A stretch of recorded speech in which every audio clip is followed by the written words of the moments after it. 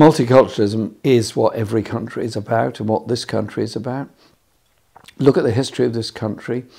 Everybody comes from somewhere else.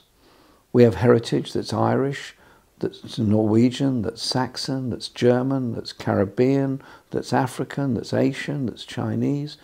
We're a country that people have come from all over the world to make their homes here. And British people have gone to live all over the world, partly through empire and colony, partly through desire uh, to migrate.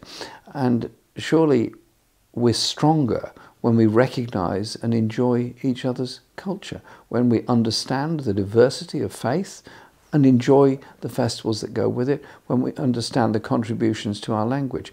English is the most fascinating language, has the largest vocabulary, I think, of any language in the world. Why? Because it assimilates bits and pieces from every other language. That's what makes it different, that's what makes it strong. We are a multicultural society. Let's be happy for that.